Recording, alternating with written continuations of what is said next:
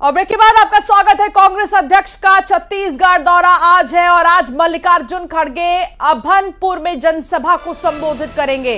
शक्ति के चंद्रपुर में चुनावी सभा करेंगे मल्लिकार्जुन खड़गे। आपने बीते दिन भी उन्हें देखा था। चुनावी सभा को संबोधित करते हुए उन्होंने बीजेपी पर जमकर निशाना साधा था। और जब जब छत्तीसगढ़ आए, मल्लिकार्जुन खड़गे भरपूर प्रदेश सरकार के पक्ष में माहौल बनाने की कोशिश उनकी तरफ़ से रही है। कार्यकर्ताओं को रिचार्ज करने की कोशिश आज एक बार फिर से कांग्रेस के राष्ट्रीय अध्यक्ष मल्लिकार्जुन खड़गे कर सकते हैं। भनपुर में जनसभा है। सख्ती के चंद्रपुर में चुनावी सभा को संबोधित करेंगे मल्लिकार्जुन खड़गे। छत्तीसगढ़ के तमाम वरिष्ठ नेताओं से मुलाकात अगर हो रही है तो हो सकता है कि बैठक का सिलसिला भी चले, क्योंकि चुनावी समय और आगामी रणनीति को लेकर लगातार प्रदेश सरकार काम करती ही आ रही है।